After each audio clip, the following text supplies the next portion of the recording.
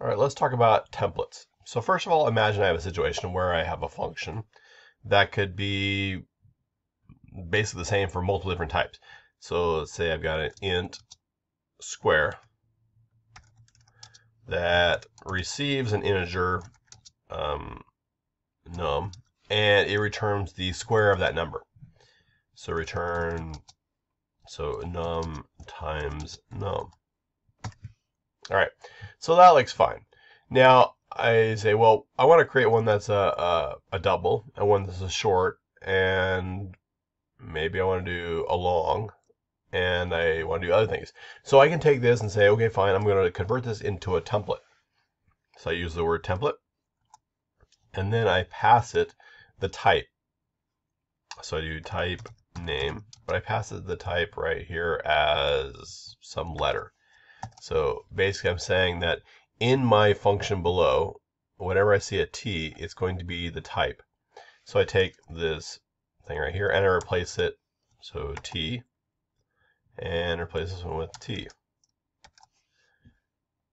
All right, so now I have this template function and it takes a type t, whatever that is, and it does some stuff with it and returns it as a type t. Now this could be a float, a double, int, whatever it could be. So now I'm going to go ahead and show you how to use this.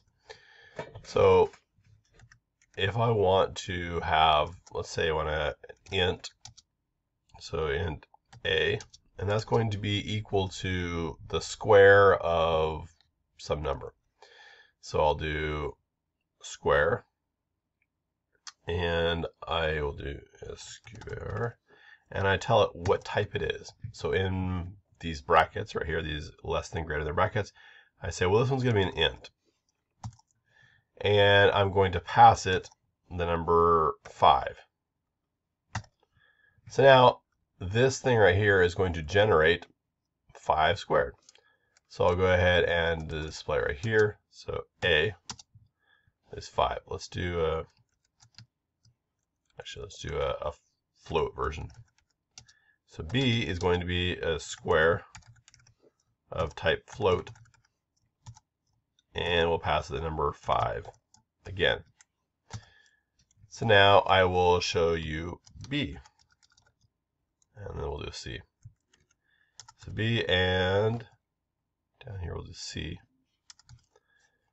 And so for C, I'm going to do a char. That should be a little weird. Um,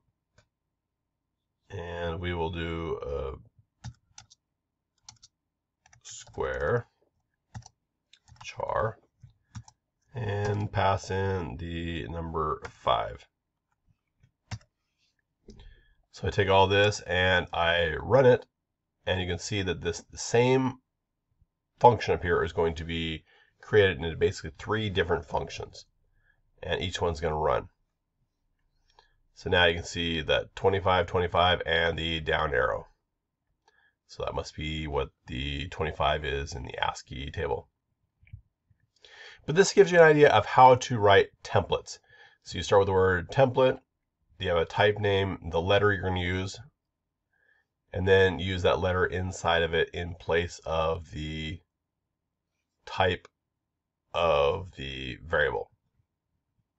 And there you go.